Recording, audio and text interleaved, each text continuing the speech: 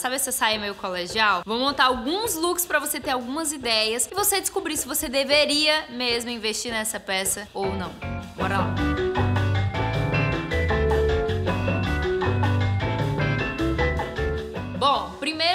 Look, já vou colocar com uma botinha. Camisa branca, saia plissada, botinha nos pés. Só pra vocês verem como fica super estiloso, mas é bom pra quem gosta de coisa curta. Então essa saia, ela não é ideal pra pessoas que não gostam de deixar as pernas de fora. Afinal, você terá que deixar suas pernas de fora, não é mesmo? Bom, e por essa saia ter essa pegada colegial, coloquei com uma mochila xadrez, ou seja, a camisa, ela dá um toque mais alinhado, mas a saia e a mochila dão esse toque mais descolado, mais menininha. E aí, você usaria esse look ou não? Sim!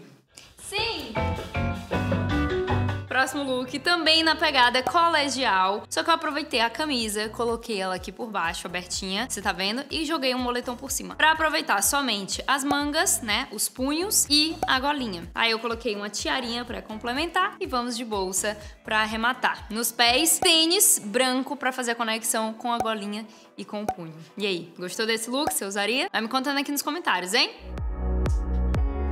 Próximo look, vamos de saia, agora não só preta, mas nessa padronagem, que é um xadrezinho bem clássico, porém não é muito chamativo. Então, pra você que não gosta de coisas assim chamativas demais, essa sainha com essa cozinha que eu indico, até porque combina muito com outros tons neutros. Então, coloquei aqui, ó, com essa blusa preta, que é com a golinha mais alta, mas tem esses, esses mangas mais longas. E você pode pegar qualquer camisa ou qualquer blusa que tenha essas golinhas, porque esse estilo vai combinar bastante bastante com o estilo da saia. E nos pés, tênis branco. E aí eu complementei só com bolsa preta para fazer uma conexão com a blusa e óculos escuros. Não deixe de usar óculos escuros e complementar com acessórios, principalmente dourados, porque vai dar um up no seu look assim, ó, sem você precisar fazer muito esforço, tá? E não precisa ter milhares de acessórios não. Aqueles que são mais coringas, que você consegue usar com tudo, são esses que você tem que vestir.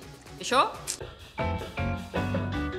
Próximo look, vamos de rasteirinha nos pés. Você tá vendo que eu tô mais basiquinha agora, só que o que complementa mesmo é o blazer. Então eu fiz um mix de estampas da saia xadrez. Quando você tiver uma saia xadrez, se liga nisso, tá? Com outra padronagem de xadrez, só que é um xadrez menorzinho e eles são da mesma cartela de cor. Então o segredo do mix de estampas é esse, pegar três cores, fazer o mix entre elas, tá?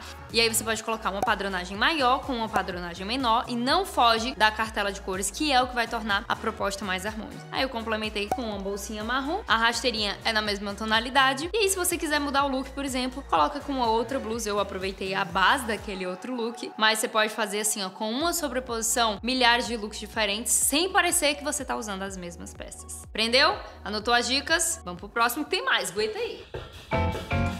E vamos de All Star.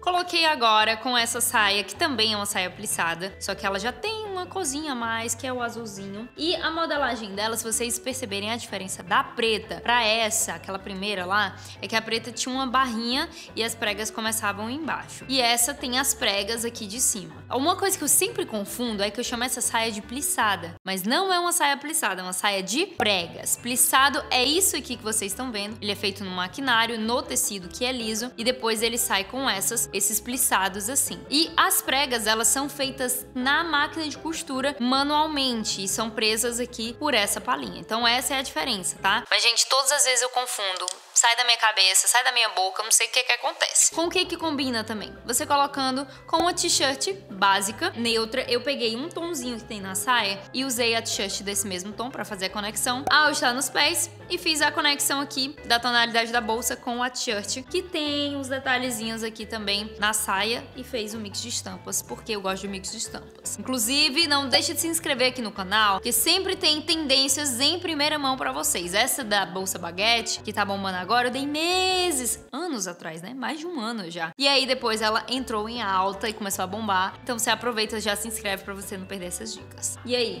lookinho aprovado? Então vamos pro próximo.